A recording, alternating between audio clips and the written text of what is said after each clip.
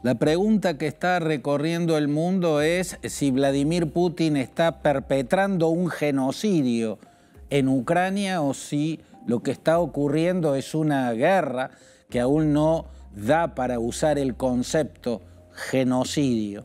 Para Joe Biden, el presidente de Estados Unidos, sí, Putin está realizando, ejecutando un genocidio en Ucrania.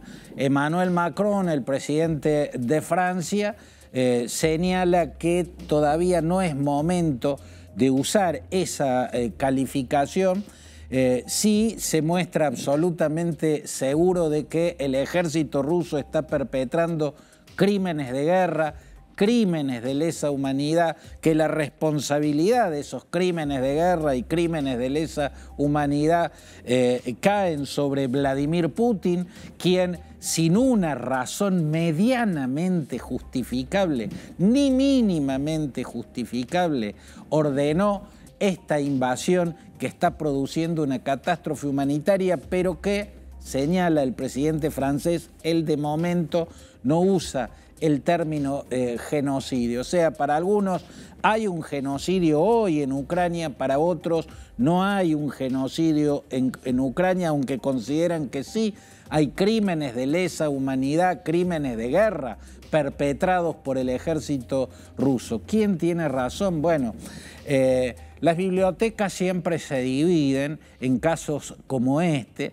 Eh, pero digamos que hay un consenso básico que para que se considere eh, la existencia de un genocidio tiene que darse un aniquilamiento intencional y sistemático eh, de un grupo racial, un grupo político, un grupo social o un grupo religioso.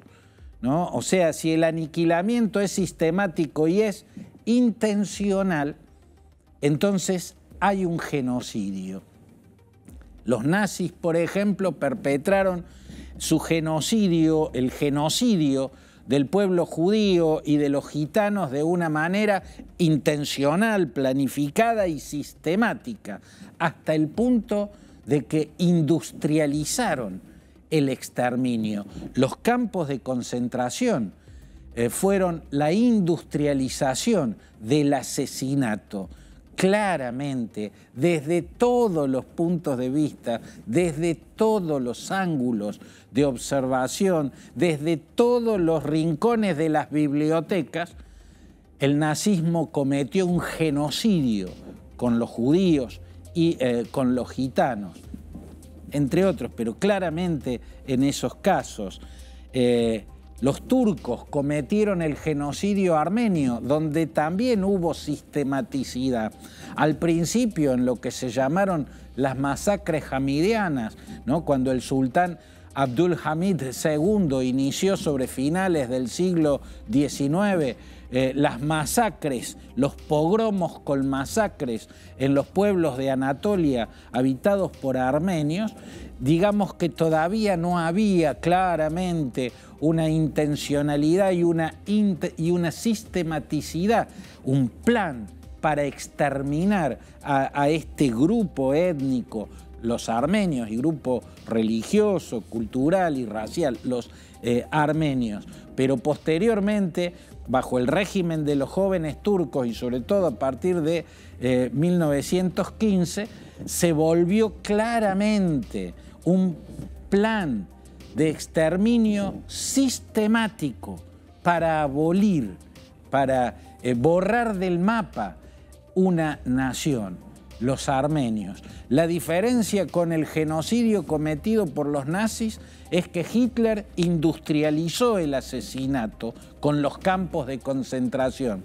el régimen de los jóvenes turcos eh, no industrializó, sino que al grueso fue incrementando los pogromos y las masacres en distintos rincones de Anatolia donde había armenios, además de asirios y de griegos, otro pueblo cristiano, y después vino la expulsión por el desierto.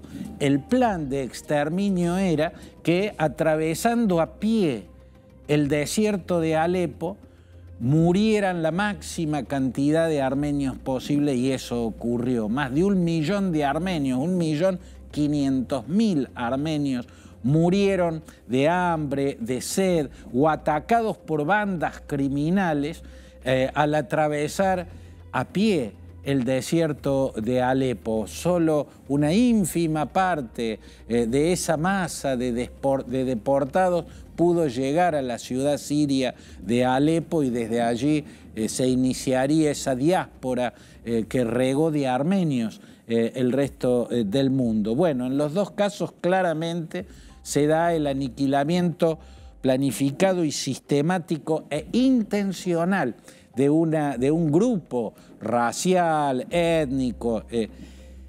En el caso de Ucrania, tal vez tenga parte de la razón o tenga razón Emmanuel Macron en cuanto a que en este momento tal vez no están las pruebas presentes de que haya una intención inicial de eh, perpetrar un genocidio.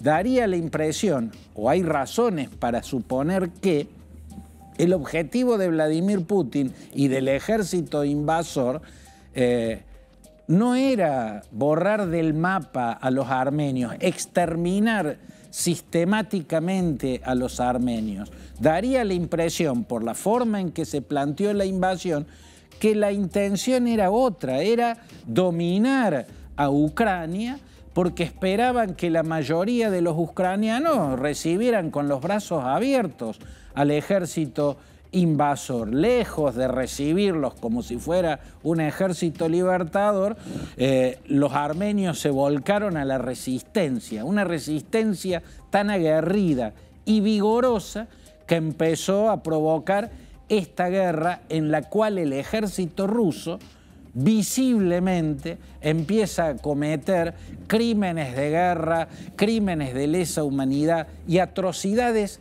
de todo tipo, visiblemente. Rusia hoy, el presidente de Rusia hoy, es responsable de crímenes de guerra y de lesa humanidad. No está clara la sistematicidad y la intencionalidad inicial de un programa, de un plan eh, de eh, exterminio. En ese sentido, hay que tener en cuenta lo siguiente, desde mi punto de vista, y más allá de las bibliotecas que se dividen en estos temas, yo siempre me incliné por considerar que incluso en procesos que no tuvieron una intencionalidad inicial, que no tuvieron un plan sistemático de exterminio inicialmente, sino que tuvieron otros objetivos, el devenir de un conflicto y las estadísticas de las muertes civiles son las que van a determinar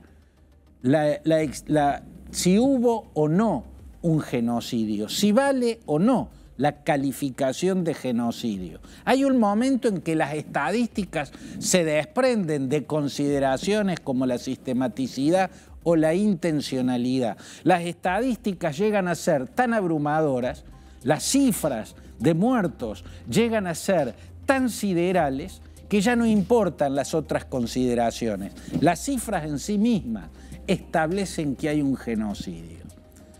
Por ejemplo, el Holdomor, eh, cuya traducción del ucraniano significaría muerte por hambre o matar de hambre o hambruna, si se quiere, pero matar de hambre para mí es la mejor definición de Holdomor, que es el nombre que se le dio al genocidio que perpetró la Unión Soviética entre el año 32 y 33, entre 1932 y 1933 sobre todo, eh, en Ucrania casi 5 millones de muertos. Hay quienes hablan, hay datos históricos que hablan de 4 millones 500 mil, otros hablan de 9 millones de ucranianos muertos. Pongamos que fuera la cifra 5 millones, eso es un exterminio masivo que ocurrió por hambre.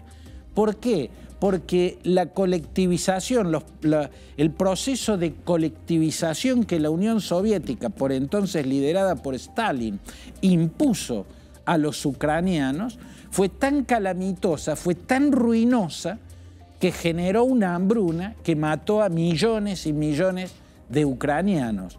Es posible que inicialmente no haya habido una intención de exterminar a, millones de ucranianos. Es posible que inicialmente la intencionalidad fuera experimentar este nuevo modo de producción que era mediante la colectivización de la producción agrícola, producción rural en general y también la industrialización en manos colectivas, ¿no? con un sistema comunista. Es posible que la intención haya sido experimentar estas formas nuevas de propiedad en la producción.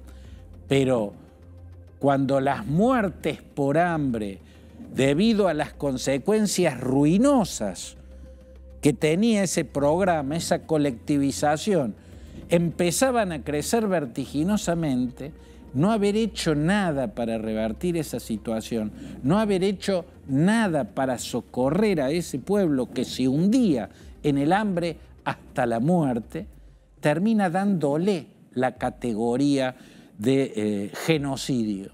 En la, en la era soviética, entre 1932 y 1933, la Unión Soviética, Rusia soviética, aunque en ese momento en manos de un georgiano, cometió un genocidio en Ucrania porque no revirtió a tiempo. Entonces ya no hay excusa. Pudo no ser la intención inicial, el exterminio sistemático de, los, de 5 millones de ucranianos, pero se avanzó hacia esa consecuencia sin hacer nada para evitarla, para frenarla, para disminuir las cifras escalofriantes de muertos. Y ahí sí, indudablemente desde mi punto de vista, eso es un genocidio. Se pueden poner muchos otros ejemplos. Posiblemente los norteamericanos no entraron a principios de la década del 60 en Vietnam con el objetivo de exterminar de manera sistemática a la etnia Viet. ¿No? Las Viet son es el nombre de la etnia vietnamita. No habrán tenido la intención de, aniquilar millones de vietnamitas. Pero la intervención norteamericana en Vietnam fue una guerra genocida porque provocó un genocidio. Murieron más de 3 millones de vietnamitas y esa cifra en sí misma avala el concepto genocidio. Que no hayan tenido inicialmente esa intención no les quita a Estados Unidos, en este caso, la responsabilidad de haber cometido un genocidio, porque fue una década sepultando bajo el napalm, bajo las balas, al pueblo vietnamita. Más allá de la intención inicial de que haya o no un plan sistemático, el devenir de un conflicto puede terminar eh, señalando que sí, que hay un genocidio. Hoy por hoy, de lo que podemos estar seguros es que el ejército invasor que envió Vladimir Putin comete crímenes de guerra y crímenes de lesa humanidad. Está provocando una catástrofe humanitaria. No podemos asegurar hoy que pueda usarse el término genocidio pero podemos estar seguros de que si el conflicto continúa en estos términos, si el ejército invasor sigue actuando como lo está haciendo en estos días, no falta mucho para que sí califique desde todos los ángulos de observación posible el uso del concepto genocidio para señalar lo que está haciendo Vladimir Putin en Ucrania.